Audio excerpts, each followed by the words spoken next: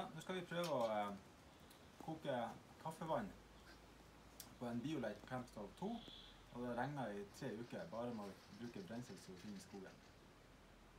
Nå har vi samla denne veden. Skal vi se om det her er nok til å koke to kopper kaffe. Det er noe litt tørrere og noe litt våtere. Så bruker vi sånne tennbriketter som følger med til å tenne opp nederst. Nå har vi fått eh, litt fyr oppi her.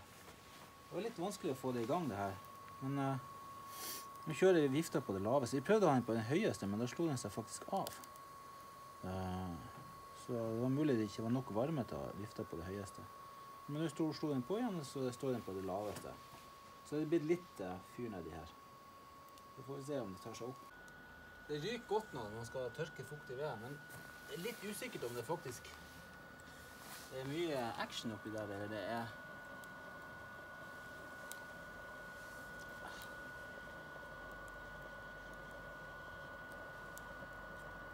Det høres ut som det brenner oppi der, men Nå har vi fått det til å brenne sånn, sånn høvelig uten at det ryker så veldig mye, i hvert fall.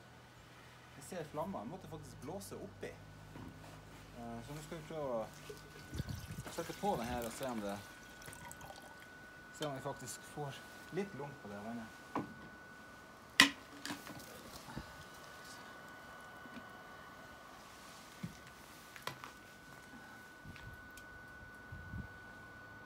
Det spørs. Sånn.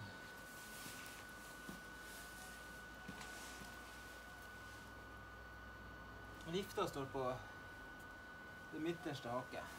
Steg to. Jeg er litt usikker på hvor mye varme det egentlig sier han gir, men om det er ett eller to lys på varmeeffekten.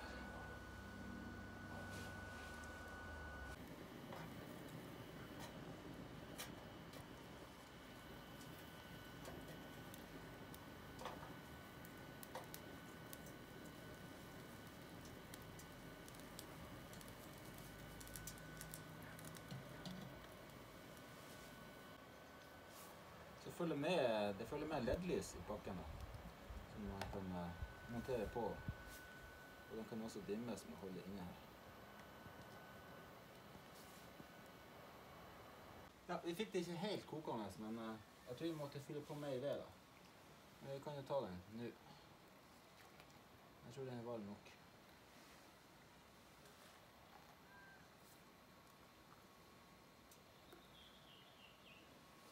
Sånn.